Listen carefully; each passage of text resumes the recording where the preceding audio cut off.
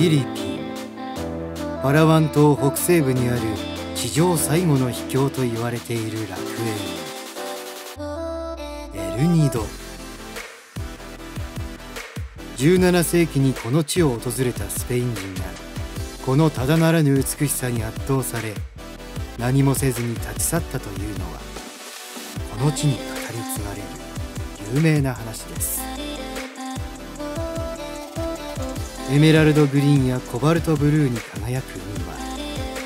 フィリピンの7000以上ある島々の中でもその透明度美しさはフィリピン随一です。500メートル級の岩山と紺碧の海白砂のビーチココナッツ林と熱帯雨林が混在するその景観は人々の心を捉えて離しません。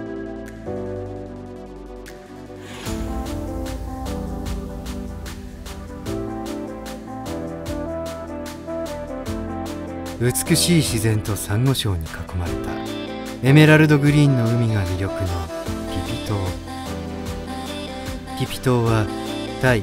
プーケットの南東に浮かぶ6つの島の総称でシュノーケリングやダイビングに最適の場所です。プーケットやサムイ島に似たピピ島は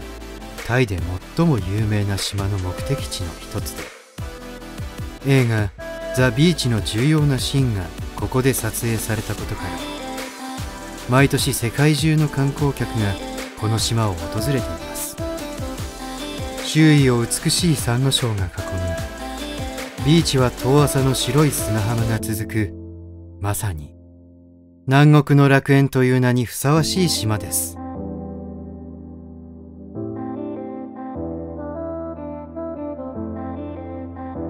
マレーシアマレー半島西海岸のアンダマン海に浮かぶ島。ランカウイ島。紺碧のアンダマン海に浮かぶ太古の森とエメラルドの海に囲まれた島で太古からの森を持つことから。マレーシアでは数多くの伝説が語り継がれている伝説の島とされ2007年には東南アジアで初めてユネスコの地質遺産に指定されました。マングローブ林では豊かな生態系が育まれ大空には優雅に舞うワシまた島沿岸部には世界有数のラグジュアリーなホテルが建ち贅沢なリゾートステイを約束してくれます。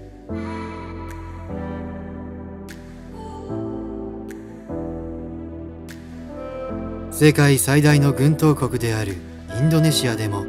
特に有名なリゾートバリ島。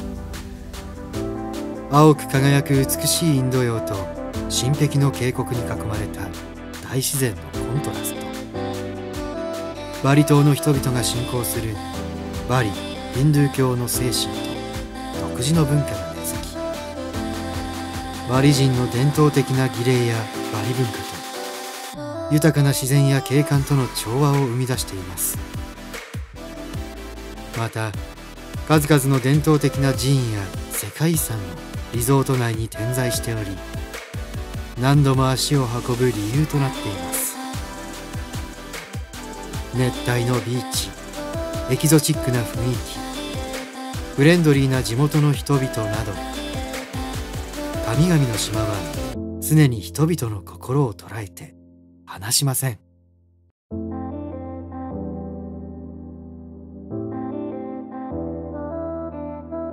ベトナム中部にあるビーチリゾートとして人気のダナン。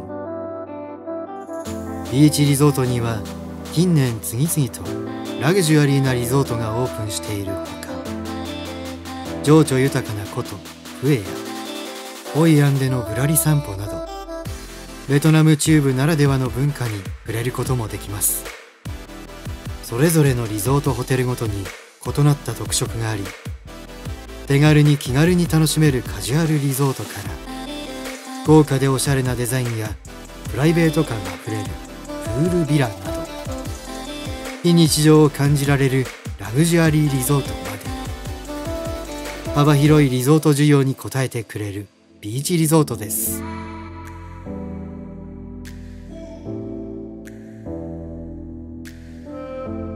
ベトナム南部に位置しカンボジアとの国境に程近い沖合に浮かぶ。ベトナム最大の島フーコック島。フーコック島には世界ベストビーチ100選に選定されたベトナムで一番美しいビーチがあり透明度の高い海に囲まれてゆっくりと流れる時間は何もしないという贅沢を教えてくれます。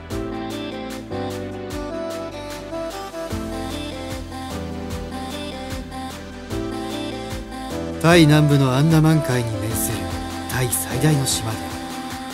世界有数のリゾート地として知られる。プーケット。プーケットの魅力は何といっても海岸沿いに広がるビーチの美しさ。目の前に広がるのはアンダマンの真珠。と称されるほどの紺碧の海と白い砂浜です。海岸線には亜熱帯の豊かな自然に調和する形でデザインされた。高級リゾートが軒を連ね。ダイナミックな自然を満喫しながら洗練されたサービスを受けることができます。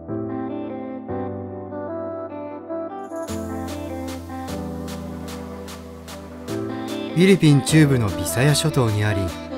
南北に 225km にわたって伸びる細長くて大きな島。セブ島。日本からも直行便で5時間ほどでアクセスも良くフィリピン屈指の人気観光地になっています。国際色豊かなセブ市からマクタン島の白い砂のビーチ。紺碧の川山滝オスロブのジンベエザメまで。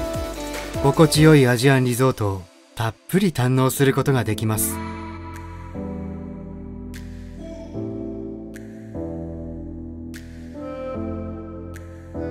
東南アジアのマレー半島とフィリピンの中間。赤道直下に位置する世界で3番目に大きな島。ボルネオ島。ボルネオ島は東南アジアの島でありマレーシア連邦。インドネシア。ブルネイ王国の3カ国が領有しています。熱帯雨林が生い茂り4000メートルを超えるキナバル山などの雄大な大自然。オランウータンを代表とする野生生物との出会いなど。ボルネオ島は魅力に尽きない熱帯の島です。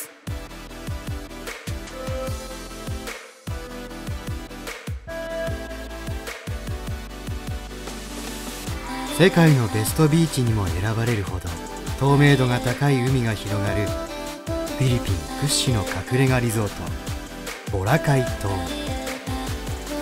純白の砂浜が全長 4km にわたり続くホワイトビーチをはじめ小さな島ながら美しいビーチをたくさん有しています。ビーチ沿いにはおしゃれなカフェやレストランバー雑貨屋さんなどが立ち並び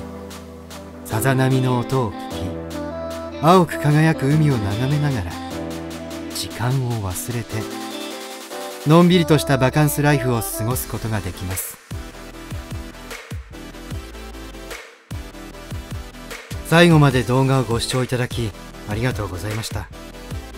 チャンネル登録高評価よろしくお願いいたします。